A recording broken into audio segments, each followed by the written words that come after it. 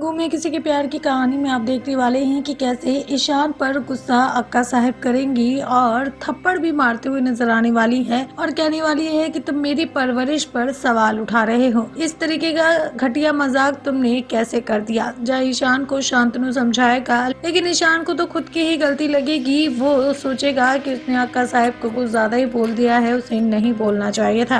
कल आपको बता दें की आगे की कहानी में अपकमिंग सेगमेंट में होने वाली है रीवा के एंट्री जो माइक पर अनाउंसमेंट करेगी और माइक में जो अनाउंसमेंट करेगी वो स्टूडेंट का हर एक बच्चा सुनेगा और कॉलेज के हर एक लड़की सुनेगी और सभी भी सुनेगी। हालाँकि सभी भी खुश हो जाएगी किसी लड़की की दीवानगी सुनकर, लेकिन जब उसे पता चलेगा कि ये बातें ईशान सर के लिए हो रही है तो उसे बुरा लगेगा। आँखों में आँसू आएँगे, इमोशनल हो जाएगी, क्योंकि सभी को चलन होगी और सभी और बाकी मौजूद जितने भी विद्यार्थी है स्टूडेंट्स है, वो भी ये बातें सुनेंगे तो उन्हें भी ईशान सर को लेकर काफ़ी सारी बातें बनाने का मौका मिल जाएगा। बाकी की अपडेट जानने के लिए बने रहिए हमारे साथ और साथ ही सब्सक्राइब कीजिए हमारा चैनल